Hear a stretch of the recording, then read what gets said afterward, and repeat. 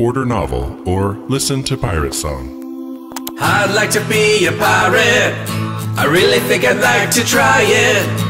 I know I just can't deny it, except for being shot at all the time and losing a leg. Then I gotta spend my whole day carving a peg, and I'm getting all antsy cause I'm stuck on a boat. And I don't know how to swim, and I probably can't float. And I have to always wear the same pair of wet shoes. And I'm stuck in a dark room that's full of unclean dudes. And the ship makes me sick cause it's rocky and swervy. And at least a couple times a year I come down with scurvy. Getting bored of the food and I end up marooned. And I never really learned to navigate by the moon. And I'm constantly prone to unpredictable weather. And my back is sore from carrying all this heavy treasure. And I don't really like being out in the sun. And I never ever ever wanna hurt anyone. But I'd like to be a pirate. Yeah! Don't really mean to romanticize it. No! They lived in a better climate. Yeah! I wanna be a swashbuckling pirate. Maybe!